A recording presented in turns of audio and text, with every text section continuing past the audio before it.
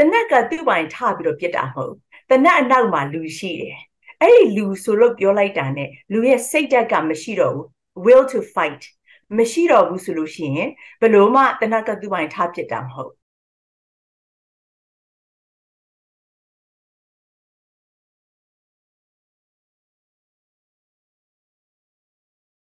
မြောက်ပိုင်းဒီမဟာမိတ်အဖွဲ့ရဲ့ရှမ်းပြည်မြောက်ပိုင်းမှာလောက်သွားတဲ့ထိုးစစ်ကတော့ ဒီမြမစစ်သမိုင်းမှာပါတော်တော်ထူးခြားတဲ့မှတ်တမ်းတင်ရတဲ့ဟိုစစ်ပွဲမျိုးပေါ့လေ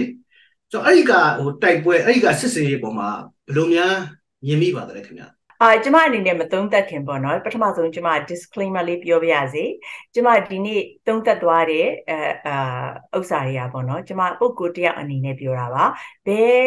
အဖွဲ့ကိုမှကိုစားပြုပြီးတော့ပြောတာမဟုတ်ပါဘူးလို့ကျမပြောချင်ပါတယ် ဟုတ်ကဲ့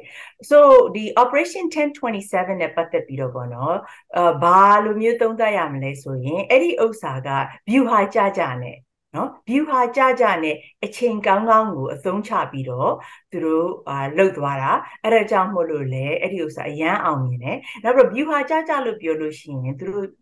သူတို့မှာပါလေတကယ်ဟိုနေဟို ကောင်းတာပေါ့နော် view ဟာကြတယ်နောက်ပြီးတော့အချိန်ကောင်းတယ်နောက်ပြီးတော့ဟိုနေသူတို့မှာ joint command joint command သုံးတယ်နောက်ပြီးလဲပြီးတော့ strategic communication uh strategic communication ကလည်းပြီးတော့ psychological operation အဲ့ဒီဥစ္စာကိုသူတို့တခါတည်း viewer ထဲမှာကြာကြာနာနာသူတို့လုပ်သွားတာအဲ့ဒါကြောင့်မလို့လဲဒီဥစ္စာအရန်ဟိုဗာလဲအောင်မြင်တယ်လို့ပြောလို့ရတယ်ဒါပေမဲ့အချိန်နဲ့ပတ်သက်ပြီးတော့ပြောမယ်ဆိုရင်သူတို့အခုအချိန်မှာလုပ်တာကအရန်ကောင်းတယ်ဘာလို့လဲဆိုတော့ 3နှစ်နီးပါးနော်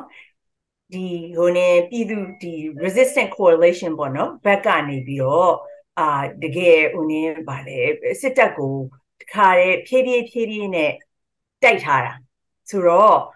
အဲ့ဒီအချိန်မှာအခုအချိန်မှာစစ်တပ်ကအရန် weak အရန်ပဲဟိုနေအားနေပြီးတော့ဟိုနေ weak point ပေါ့နော်ဖြစ်တဲ့အချိန်မှာသူတို့အသုံးချပြီးတော့တိုက်သွားတာ နောက်ပြီးလဲပြီးတော့သူတို့ဗာလဲနောက်တစ်ခုအရန်ကောင်းတာ international relation နဲ့ပတ်သက်ပြီးတော့ပေါ့နော်ဒီတရုတ်ရဲ့ interest ကအခုအချိန်မှာဟိုနေဗာလဲဒီဒီဒီရာဇဝတ် gain နေနဲ့ပတ်သက်ပြီးတော့ရှိနေတယ်အဲ့ဒီဥစ္စာကိုလည်းသူတို့ကပြန်ပြီးတော့အသုံးချပြီးတော့တရုတ်ရဲ့ဖိအားမရှိအောင်သူတို့အဲ့ဒီဥစ္စာလုပ်ပြလိုက်တာ ဆိုတော့အဲ့ဒီပြန်ပြီးတော့သုံးသပ်လိုက်ရင်အဲ့ဒီဥစ္စာ international relation strategic communication psychological operation เนาะနောက်ပြီးတော့အချိန် time အားလုံးကိုခါတဲ့ဟိုဗာလဲအသေးချသုံးချသွားတာဆိုအဲ့ဒါကျွန်မအများအားပြောနေတယ်လို့ပဲဒီဥစ္စာ viewer နဲ့ဆိုင်နေအဲ့ဒီဥစ္စာ fire power နဲ့တိတ်မဆိုင် right fire power အဲဒိုဘက်ကစစ်တပ်ဘက်က fire power အခုတည်းကအများကြီးရှိနေသေးတယ်လေဒါပေမဲ့သူတို့ဒီဥစ္စာကို ဒီလိုမျိုး view ဟာကြာကြာနဲ့လှုပ်လိုက်တဲ့အခါကျတော့အဲ့ဒါမျိုးတွေကအောင်မြင်တယ်ပေါ့စစ်တပ်ဘက်ကစစ်ကောင်စီဘက်ကဟိုသူတို့လင့်ငိုက်ခံရတဲ့ပုံစံမျိုးလည်းရှိတယ်နဲ့တူပါတယ်ဟိုသူတို့ဟိုမျော်လင့်ထားဖို့မရဘူးလို့ထင်ရတယ်ပေါ့လေနောက်ပြီးတော့ဟိုအခုလက်နက်တွေအခုဟိုဒီဖမ်းမိတာတွေနောက်တရင်လိုက်ဟိုဒီဘက်ပြောင်းလာတဲ့လက်နက်ချတဲ့လူတွေကိုကြည့်လိုက်လို့ရှိရင်သူတို့မှာလက်နက်တွေအများကြီးရှိနေတယ် ဒီလိုလက်နက်တွေအများကြီးရှိနေတဲ့ဂျားတွေကနေပြီးတော့ဟိုဒီလောက်ထိဟိုအရေးနှိမ့်သွားတာကဘာအချက်တွေအားနေလို့လဲခင်ဗျာစစ်ကောင်စီဘက်က Yeah ကျမအများအားပြောတယ်တနက်ကသူ့ပိုင်ထပြီးတော့ပြစ်တာမဟုတ်တနက်အနောက်မှာလူရှိတယ်အဲ့ဒီလူဆိုလို့ပြောလိုက်တာ ਨੇ လူရဲ့စိတ်ဓာတ်ကမရှိတော့ဘူး will to fight မရှိတော့ဘူးဆိုလို့ရှိရင်ဘယ်လို့မှတနက်ကသူ့ပိုင်ထားပြစ်တာမဟုတ် right ဆိုအဲ့ဒီအောင်မလို့ကျမတို့တွေ့နေရတယ်ဥစ္စာဘာလို့ဆိုအရန်မဲ့သူတို့မှာဗာလဲ combat fatigue right သူတို့မှဒီလောက်၃နှစ်နာနေနေသူတို့လှုပ်လာတာနောက်ပြီးတော့သူတို့ကိုယ်၌ကလည်းသူတို့ကသူတို့ကိုယ်၌ကလည်းသားကောင်လို့သူတို့ပိုင်း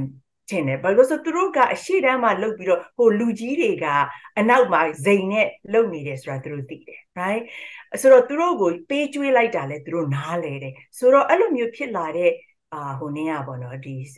တပ်ဖွဲ့တစ်ခုဟာဘလို့မှ effective fighting force မဟုတ်တော့ဘူးဆိုတော့ ခုနကကျွန်မပြန်ပြောသလိုပဲအဲ့ဒါ fire power နဲ့မဆိုင်ဘူးအဲ့ဒီဥစ္စာ people power နော်နောက် smart power အဲ့ဒီဥစ္စာတွေကိုသုံးနိုင်လို့ရှိရင်ဒါတိုက်ပွဲနိုင်တာပဲစစ်ကောင်စီဘက်ကလည်းဟိုသူ့ရဲ့တပ်သားတွေမှာ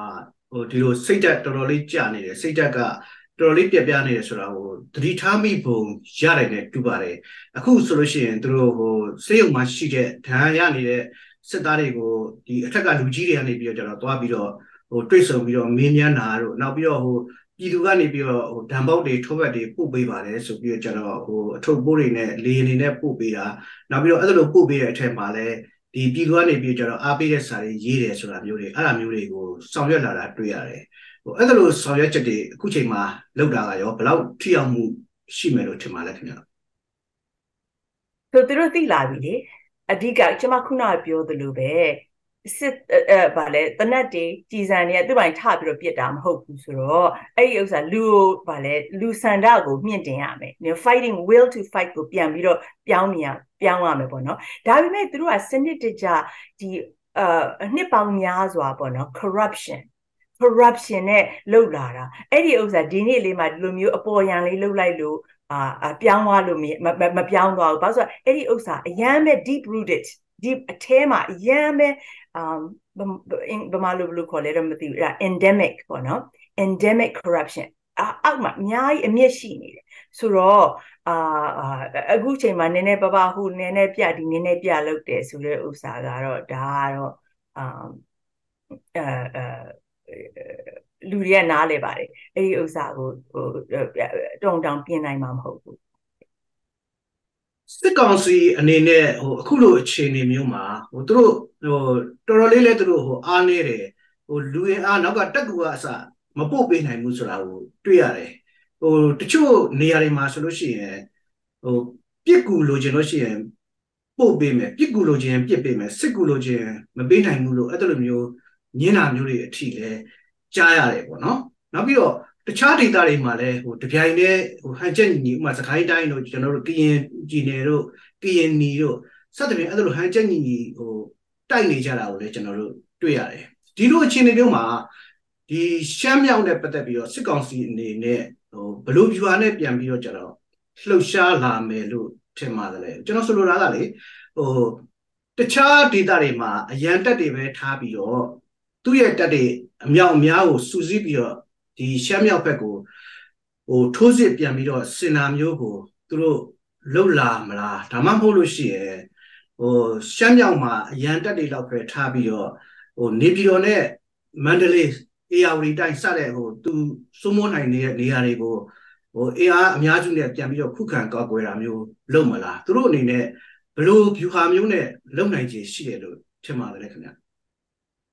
อืมသူတို့မှာအခုလူမရှိတော့ဘူး လူမရှိတော့ဘူးရှိရှိသမျှကိုသူတို့ကအခုချိန်မှာခံစစ်အတွက်နေပြည်တော်တို့သူတို့ရှိနေတဲ့နေရာတွေကိုဟိုနေပါလဲကောက်ွယ်ဖို့သူတို့အများကြီးဆွဲထုတ်နေတယ်လို့ကြားရတယ်အဲ့အဲ့အဲ့ဘက်ကိုဆွဲနေတယ်ဆုတ်နေတယ်လို့ကြားရတယ်အဲ့အဲ့ဒီမြောက်ပိုင်းအတွက်က primary ပေါ့နော်အဓိကကသူတို့ psychological operation သူတို့တွေကအခုကဒီ Northern Northern Alliance ကိုပေါ့နော်3 3ညီနောင်ကိုညီနောင်3ယောက်3 3ဘွဲ့ကိုသူတို့တွေကအဲ တရုတ်တရုတ်နဲ့ဆက်ဆက်တယ်ဆိုပြီးတော့သူတို့အဲ့ဒီမျိုးအဲဒီလိုမျိုးဟို psychological operation တွေလုပ်နေကြတာ right ဆိုတော့အဲ့ဒါပဲသူတို့မှရှိတော့တယ်ဒါပေမဲ့သူတို့အတွက်ပြဿနာကသူတို့ကအမြဲတမ်းသူတို့သူတို့စကားသူတို့ပါဇက်လှုပ်ပြီးဆိုရင်ဒါသူတို့ကဟိုဗာလဲလိန်နေတာပဲဆိုလူတိုင်းကသိတယ်ဆိုတော့သူတို့ဘာပြောပြော အာသူတို့ပြောတဲ့ဥစ္စာတွေကလူတွေကမယုံကြည်တော့ဘူး right ဆိုတော့အဲ့ဒီဥစ္စာလဲဒါပေမဲ့အဲ့ဒီဥစ္စာတခုပဲသူတို့လုံနိုင်တယ်ဘာလို့လဲဆိုတော့ခုနပြောသလိုလူလည်းမရှိတော့ဘူးဒါပေမဲ့ရှိရှိသမျှလမ်းနေပေါ့နော်သူတို့ဒီဥစ္စာကိုဟိုဟိုအဲ troops တွေကိုဒီအဖွဲ့တွေကိုအဲ့ဒီအပေါ်ရောက်ဖို့သွားဖို့အတွက်ဒီဒီ road road um လမ်းနေရလဲတော်တော်များများကဟိုနင်းနေဒီတော်လိုင်းရေးဘက်ကလူတွေက ဒီအများကြီးထိမ့်သိမ်းထားတာဆိုတော့သူတို့တုံတောင်မလို့အဲ့ကြောင့်အကယ်၍သူတို့လုတ်လုတ်မယ်ဆိုလို့ရှိရင်အဲ့အခုကတလတောင်ကျော်ပါပြီသူတို့အခုတည်းဒီမလုံနိုင်သေးပြန်ပြီးတော့ offensive right ဆိုတော့သူတို့လောက်တာကိုပြန်ကြည့်တဲ့အခါမှာသိတယ်လေ right သူတို့မှကြံတာကတော့ air power ပဲရှိတော့တယ် air strike ပဲရှိတော့တယ်အာအဲနောက်ပြီး psychological operation เนาะ psychological operation ပဲကြံတော့တယ်အဲ့ဒီဥစ္စာကိုသူတို့လုပ်လုပ်နေတာလို့ပြောနောက်ပြီးတော့ဒီဒီတရုတ်နဲ့ပတ်သက်ပြီးတော့ပြောတော့သူတို့ဒီလိုမျိုးဒီလိုမျိုး misinformation တွေဒီ psychological operation တွေလုပ်တာသူတို့အတွက်အရန်ပဲအာ risk များတယ်အန္တရာယ်ရှိတယ်အဲ့ဒီဥစ္စာသူတို့အဲ့လိုအဲ့လိုသုံးလိုက်တဲ့အခါမှာသူတို့ကနောက်ဆုံးအဆင့်ပဲလို့ပြောလို့ရတယ် they desperate desperate move ပေါ့နော်အဲ့လိုမျိုးလို့ပြောလို့ရတယ် air power ဆိုတော့ဟိုတခုတတိထားမိတာအခုရက်ပိုင်းလေးအတွက်မှာပဲ29ရက်နေ့မှာတုန်းကပဲဒီဗိုလ်ချုပ်မှုကြီးမင်းအောင်လှိုင်ကဒီနဂဆအစည်းအဝေးမှာဟိုမပြောစဘူးထုတ်ပြောသွားတာရှိတယ်အဲ့ဒါဘာလဲဆိုတော့ကြတော့ဒီမြောက်ပိုင်းစစ်ပွဲနဲ့ပတ်သက်ပြီးတော့တဲ့ဒီဟိုစစ်ရေးသုံးတဲ့ဟို drone တွေအများပြားသုံးပြီးတော့ကြတော့ဒီ drop home တွေအများပြားချသွားတယ်နောက်ပြီးတော့ဒီဟိုမြောက်ပိုင်းကဟိုမဟာမိတ်တွေတော်လိုင်းရေးသမားတွေက နီးပညာတာလွန်မှုကိုအသုံးချသွားတယ်လို့တောင်မှသူအဲ့ဒါလို့တောင်မှပြောတယ်နီးပညာတာလွန်တယ်နောက်ပြီးတော့ဒီ drone တွေတုံးတာကသူတို့တွေတိတ်ပြီးကြတော့ထိခိုက်တယ်ဆိုတာမျိုးပြောသွားတာမျိုးရှိတယ် drone ရဲ့အရေးပါမှုကိုရောဘယ်လိုထင်ပါသလဲခင်ဗျာ drone ကတော့တီထွင်မှုတစ်ခုပေါ့ကျမစတွေကပြောတယ်ဒီဘက်ကအာဗာလဲတော်လန်ရေးဘက်ကလူတွေကတီထွင်မှုအရန်ကောင်းတယ် တီထွင်မှုအရန်ကောင်းတယ်အာဒီစစ်တပ်ဘက်ကသူတို့တွေက 1950s နော်1950လောက်တည်းရှိနေတဲ့ view ဟာနဲ့အာဗာလဲဥစ္စာတွေကိုပြန်ပြီးတော့ထပ်ပြီးတော့သူတို့ရဲ့ဥစ္စာကအခု keep me အာ strategy တွေမဟုတ်တော့ဘူးရတာအမြင်နဲ့ဟိုတာမန်လူတွေရဲ့ဟိုအမြင်ပေါ့လေဒီဟိုစီရေးဟိုမကျွမ်းကျင်တဲ့လူနားမလည်တဲ့လူတွေကတော့ဒါဟိုတိတ်မကြတော့ဘူးစစ်ကောင်စီပြုတ်ကြတော့မှာပဲ ဟိုစစ်ကောင်စီရှုံးနေပြီလို့အဲ့လိုမျိုးမြင်နေကြပါတယ်ဒီစီရေးကျွမ်းကျင်တဲ့သူတယောက်ရဲ့အမြင်ကရောဟိုအဲ့လိုအယက်သားမြင်တာနဲ့ကွာခြားမှုရှိသလားဘယ်လိုမြင်ပါသလဲခင်ဗျဟွန်း